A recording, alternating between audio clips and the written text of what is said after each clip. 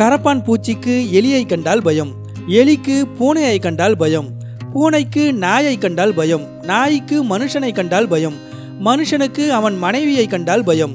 இப்படி ஒவ்வொன்றுக்கும் வாழ்க்கையில் ஏதாவது ஒன்றின் மீது பயம் இருக்கின்றது. பயம் என்பது அச்சத்தை வெளிப்படுத்தும் ஓர் உணர்ச்சி வயப்பட்ட வெளிப்பாடாகும்.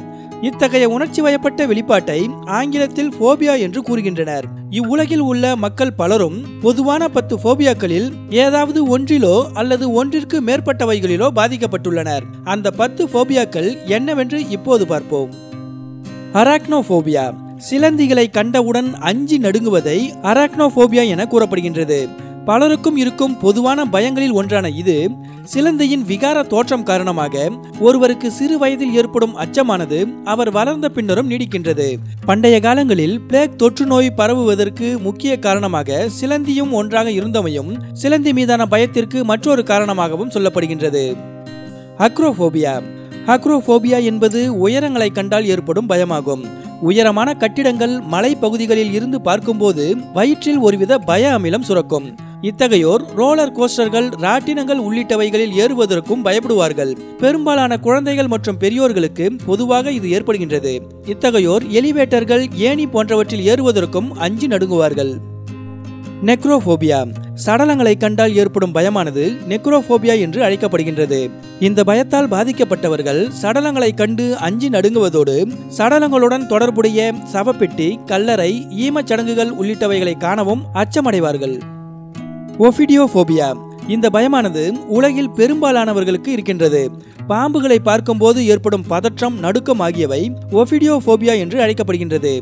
இத்தகையோர் விலங்கியல் பூங்கா அடர்ந்த புல்வெளி புதர்கள் போன்றவற்றின் அருகில் செல்லவும் அஞ்சுவார்கள். ஏரோஃபோபியா. விமானத்தில் பயணம் செய்ய சிலர் அஞ்சுவார்கள். விமானம் வெடித்து விடுமோ அல்லது கீழே விழுந்து விடுமோ என பயந்து நடுங்கி விமானத்தில் பயணம் செய்வதை தவிர்ப்பார்கள். இத்தகைய பயமானது ஏரோஃபோபியா என்று அழைக்கப்படுகின்றது. உலக மக்கள் தொகையில் சுமார் ஆறு புள்ளி ஐந்து சதவிகிதம் பேர் ஏரோஃபோபியாவால் பாதிக்கப்பட்டுள்ளனர் என சொல்லப்படுகின்றது. ஆகோரோஃபோபியா. ஆகோரோஃபோபியா என்பது அறிமுகமில்லாத புதிய சூழ்நிலைகளின் மீது ஏற்படும் ஒருவித பயமாகும். அதாவது ஓர் புதிய இடத்திற்கோ அல்லது கூட்ட நெரிசல் மிக்க இடத்திற்கோ சென்றால் அது பாதுகாப்பானதாக இருக்காது என தோன்றும் அச்சமாகும்.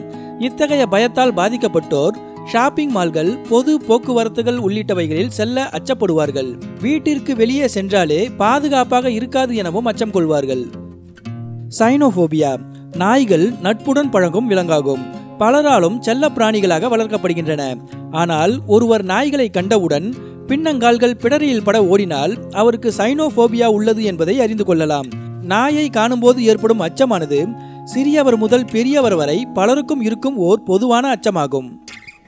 கிளாஸ்ட்ரோஃபோபியா கிளாஸ்ட்ரோஃபோபியா என்பது மிகச்சிறிய இடைவெளிகள் அல்லது ஜன்னல்கள் இல்லா அறைகள் போன்றவற்றில் இருக்கும்போது ஏற்படும் ஒருவித அச்ச உணர்வாகும். குறிப்பாக எலிவேட்டர்கள் சிறிய கார்கள் சிறு இடைவெளிகள் உள்ளிட்டவைகளில் இருக்கும்போது வெளியேற முடியாமல் சிக்கிக் கொண்டு விடுவோமோ என அஞ்சும் நிலையை கிளாஸ்ட்ரோஃபோபியா என்று கூறுகின்றனர். ஆஸ்ட்ரோஃபோபியா இடி மின்னலுக்கு பயப்படும் தன்மையை ஆஸ்ட்ரோபோபியா என்று அழைக்கின்றனர். பெரும்பாலான குழந்தைகளுக்கும் சில பெரியவர்களுக்கும் கூட இந்த ஆஸ்ட்ரோபோபியா இருக்கின்றது.